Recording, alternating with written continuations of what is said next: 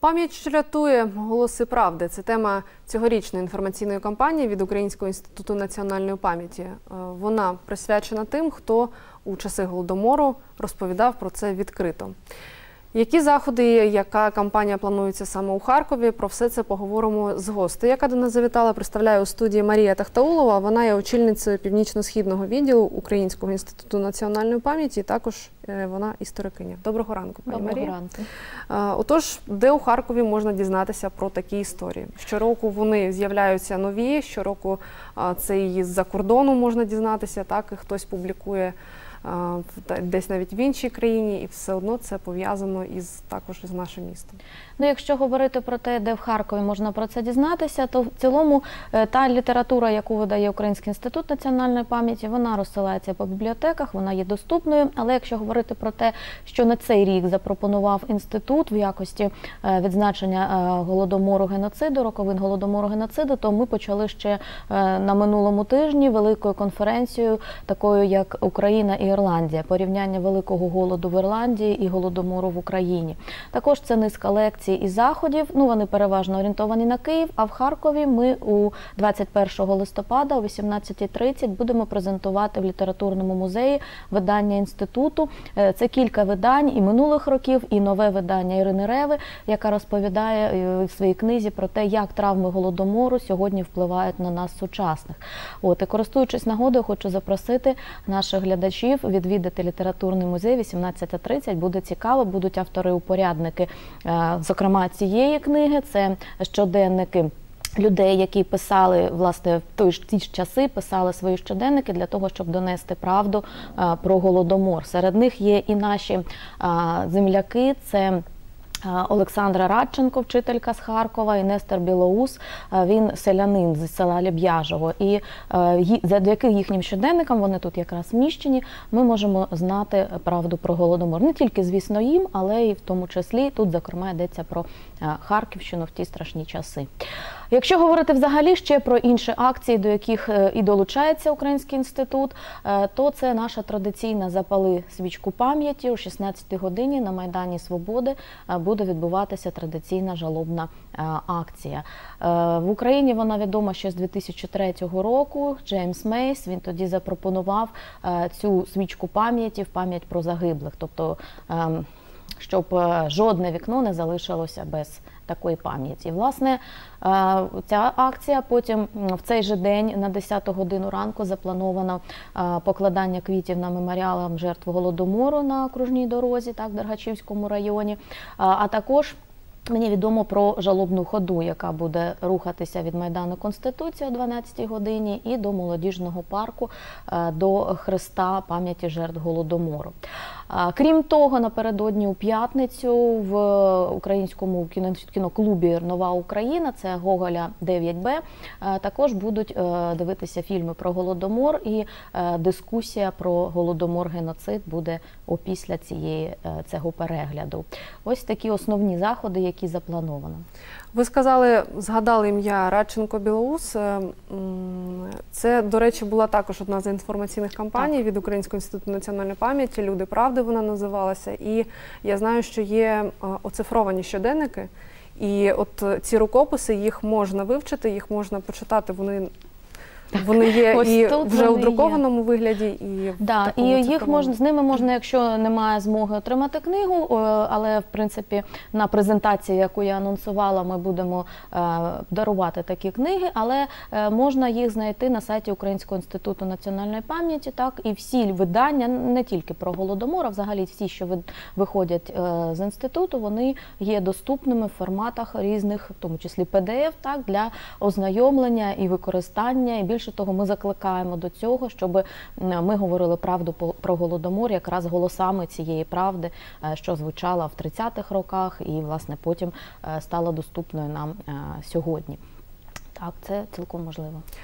На що сьогодні, ну от знову ж таки, історики, історикині, дослідники голодомору, дослідниці звертають увагу найчастіше у цій темі, оскільки щороку, е, звісно, що до роковин ми згадуємо. Частіше та пильніше привертаємо до цього увагу. Але я думаю, що ну, варто говорити про це постійно, і щоразу з'являється нова інформація. Щороку це або якісь дослідники, або якісь історики опублікували статті, матеріали і так далі. І щоразу з'являється нова інформація. Ем, Здається, що можна знати вже все про цю тему, але це далеко не так. Скільки взагалі того, що відбувалось, ми ще не знаємо, скільки архівів ще не розкрито. Ну тут важко говорити, скільки ми не знаємо. Да? Скоріше варто говорити про те, скільки знаємо. Дійсно, е, щороку і не тільки до роковин голодомору, українські і не тільки українські дослідники е, видають свої книги, статті, аналізи. Е, Ось і, наприклад, якщо говорити от про нове, то дискусія точиться зараз, і вона вже не перший рік, до речі, точиться навколо кількості жертв голодомору. Так і е, основним таким ну, е, джерелом до цього є е, дослідження, спільне дослідження Інституту історії України, Інституту демографії Академії наук України імені Птухи. Вони презентували його кілька років вже тому, але цифра дискутується. Тобто вони назвали цифру в 3,9 мільйони загиблих і 600 тисяч ненароджених. Тобто, це власне. Ті, хто не народилися через голодомор, от є інші погляди на е, цю цифру, так і фактично серед істориків е, точаться е, дискусії на цю тему. Але як на мене, цифри це є не так важливим. Тобто, ми в пошуках якихось цифр забуваємо те, що це була велика трагедія для українського народу, і навіть одне загублене життя воно є цінним для нас.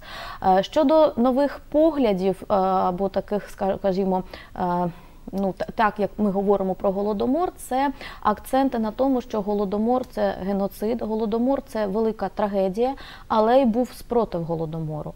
Е, Тобто українці не були пасивними до цього всього. І от на цю тему видана чудова книга Володимира Телещака 1930, де він аналізує, розповідає про більш ніж мільйон повстань, які передували голодомору. Тобто це колективізація і відповідь українців на колективізацію. Це локальні повстання, які врешті змусили сталінське керівництво відступити на початках, так і скасувати.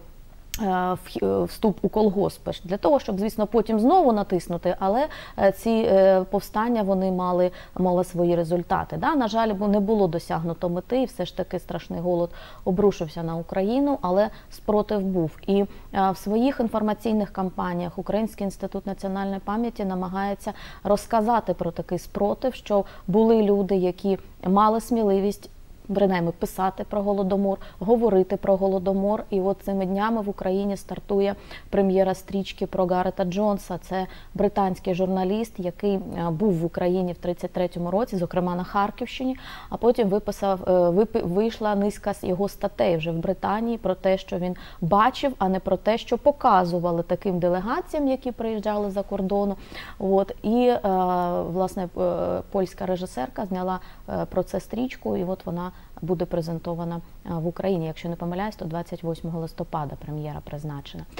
Ось так. Тобто е, були люди, які не боялися, які говорили про голодомор. Також серед інших наших кампаній і були е, інформаційні кампанії спрямовані на те, щоб розказати про тих людей, які рятували інших. Тобто ділилися там своїми харчами, часом останніми для того, щоб врятувати е, інших. Отже, е, такі акценти на сьогоднішній день в дослідженнях, популяризаційних кампаніях, які розповідають про геноцид. Наскільки сьогодні е, взагалі ну, тему голодомору можна сприймати і правильно розуміти її, оскільки, знаєте, коли повсюди така просто навколо велика кількість е, їжі, велика кількість продуктів та продовольчих товарів, ну, я думаю, що більш вже такому молодому поколінню якось важко усвідомити та сприймати те, що от е, не було доступу взагалі, не те, що доступу, не було що їсти. От знаєте, як. е, Ну, розповісти та достукатися до різних, можливо, вікових категорій населення, і хто швидше та сприймає, ну, наприклад, легше цю інформацію про голодомор. Ну, це тема дійсно складна для усвідомлення і нашими сучасниками, і в принципі людьми і старшого, і молодшого віку. Ну треба говорити про те, що ще живі очевидці голодомору. Та? Тобто їхні е, спогади вони є, для нас дуже цінними. Тобто, через них, да, через спогади, через особисті історії ми можемо промовляти до е, сучасників. У Харківській області є Звісно, такі у нас очевидці? є, е, звісно, є зібрані ці спогади, збираються вже дуже багато років. Е, І є добірки, якраз які присвячені саме спогадам про голодомор. Цим також і займається.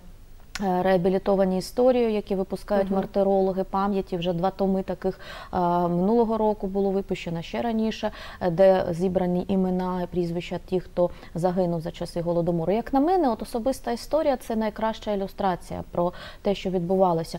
Також я знаю, що в музеях часом влаштовують, ну от, що їли в часи голодомору, да, намагаються от, показати той набір продуктів або як- готувати страви, так, або готувати були. Страви, да, тобто залучати це добре працює з дітьми, які активності такі е, власне полюбляють, але в той же час вони розуміють, да, ось що було, з чого можна було приготувати і як це смакує. Да. Я думаю, що це е, принаймні. Е, Скеровує їх для того, щоб задуматися, в який час вони живуть і які часи страшні були на Україні в, в 30-х, та й не тільки в 30-х. Да, це е, один із епізодів. Були голоди і 20-х років, і після війни в 46-му, 47-му. Отже, є е, такі. Інструменти, деякі дозволяють нам про це говорити.